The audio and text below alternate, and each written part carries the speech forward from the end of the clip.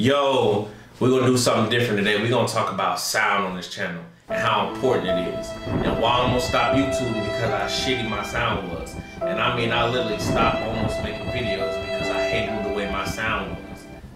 Let's get it, man.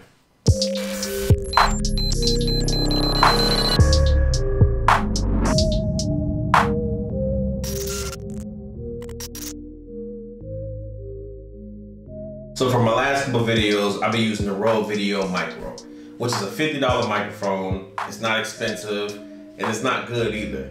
So this is why you hear my audio and it sounds very echo, it sounds everywhere. So I got with my homeboy, codename Danny. Shout out to codename Danny. He kept it real with me. He told me, bro, your video audio sucks. I wouldn't believe it at first. I was like, nah, my audio sounds good. It doesn't sound bad. So one day it just hit me.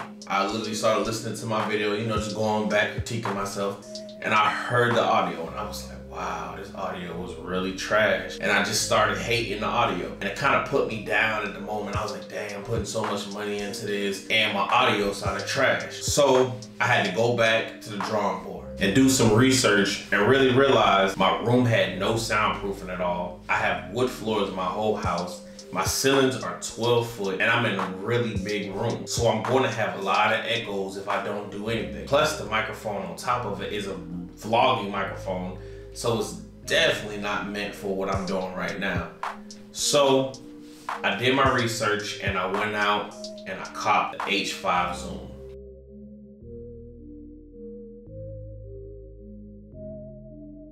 So this right here is a Zoom H5 audio. And you could instantly tell my audio is so much better. Now I did do some soundproof in my room and when I do do a tour of the room, I will show you guys the actual panels and how I put them up. And I did build a couple of soundproofing panels myself, which wasn't too expensive and it did help drastically. So this video right here is not a review of the H5 yet. I do plan on doing a review for the product, but right now I just want to give you guys a one or two, maybe five minute video and just let you guys hear how the video quality has improved drastically. Now I will say this product, just a quick overview, is not for beginners. So I will have a review for this product coming soon because it is more than just the H5 that I actually have. It's a capsule that I actually bought with the H5 which basically turns into a shotgun mic. So I do have more coming with this video, but right now I just want to give you guys a quick overview that the audio is gonna be 10 times better in my next videos, thanks to the H5. This your boy Snacks with Adult Geeks. I'll catch y'all in the next video.